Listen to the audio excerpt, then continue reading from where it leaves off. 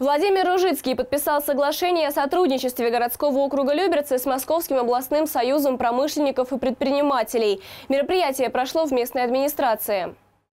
Подписан важный документ – соглашение о сотрудничестве администрации городского округа Люберцы и Союза промышленников и предпринимателей Московской области. Он призван создать благоприятные условия для работы бизнесменов в муниципалитете, укрепить их финансовое положение, а также в целом повысить уровень социально-экономического развития округа. Подготовка согласованных предложений по совершенствованию регионального и федерального законодательства, обеспечивающего развитие деятельности организации научно-промышленного комплекса, организации организации проведения научно-практических конференций, семинаров, круглых столов по актуальным вопросам развития организации промышленности городского округа Люберцы. Кроме того, соглашение предусматривает участие Союза промышленников и предпринимателей в подготовке местных кадров, организацию тематических обучающих мастер-классов и лекций, а также иную помощь. Любого предпринимателя э, что интересует?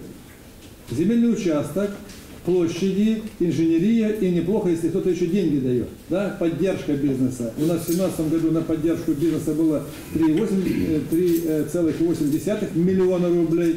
В следующем году мы ставим задачу где-то в пределах не менее 7,5 миллионов рублей. Эти деньги мы как бы закладываем, есть определенные процедуры, конкурсные, есть определенные условия.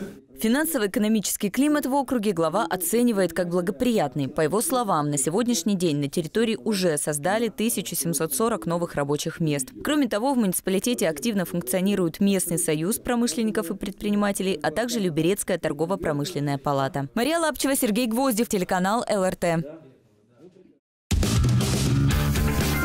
Привет! Я Анна Троян, вы смотрите ЛРТ. Подписывайтесь на наш канал на Ютубе и ставьте лайки. Будьте в курсе самых важных событий.